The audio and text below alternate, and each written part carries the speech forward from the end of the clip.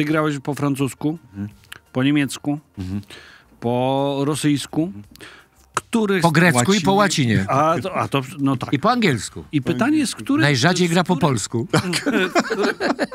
W którym języku... ym, czy w ogóle można się czuć w języku obcym tak sprawnie, jak w języku ojczystym? Jest ogromna ulga, w kiedy możesz grać po polsku, absolutnie, wiesz. Mhm. Ale z drugiej strony każdy z tych języków ma jakąś swoją melodykę i jakiś tam zasób, powiedzmy, y, czegoś, jakiejś energii, że po angielsku będziesz e, e, brzmiał bardziej, rozumiesz, wiesz, e, tak, wiesz, cool, nie?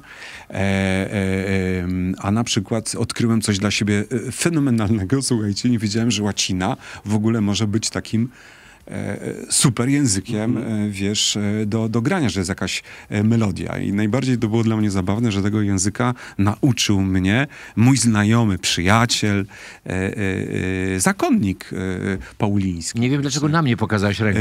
E, Ostatnio tak Na żyjesz. biało jesteś Aha, ubrany, wiesz, to uczciwie. może dlatego... Bo żyję w czystości od parunastu tygodni. I Zakonnik. Słuchaj, i to była, i to była, i to była, i to była zabawa. Tam mnóstwo anegdot jest związanych z tym, jak się e, profesorowie Sorbony zachwycali tym językiem, że on taki być może jest e, najbliższy tego języka, brzmienie tego języka klasycznej łacinie, którą się posługiwali e, e, w Rzymie. A ja miałem ogromną satysfakcję, że reżyser tego filmu, Stefan Urlie, dał się namówić na to, Okej, e, dwa słowa. E, Przyjechałem na e, czytanie tekstu. E, Zagrałem później Marka. mm, Nie Aureliusza. Winicjusza. Nie, Winicjusza Marka. Marka. Antoni, Antoniusza, Marek, Mark Antoniusz w takiej produkcji Le Standaron. E, produkcja francuska, ogromny taki dokument fabularyzowany. I czytamy sobie ten tekst i tam trafiłem dzięki Kwowadis do tego filmu tak naprawdę. Proszę, czyli jednak Kwowadis ma też swoje dobre strony. Nie ma.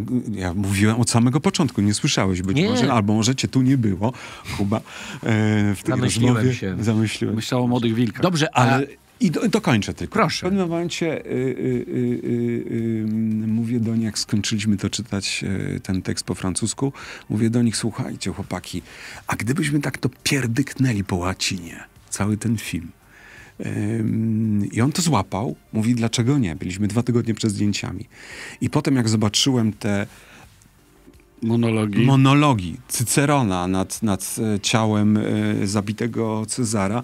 Mówię, w coś ty się chłopie wkopał, ale miałem, im więcej to wchodziłem, to naprawdę czułem coraz większy drive i potem pomyślałem sobie, a byłoby tak zarąbiście, gdybyśmy grali po prostu w języku jakimś takim międzynarodowym, takim esperanto wszyscy aktorzy i to szanse byłyby równe. Jak długo przeklinałeś ten swój pomysł? Mm, pierwsze dwa tygodnie, ale potem słuchaj, y, y, poszło jak z góry.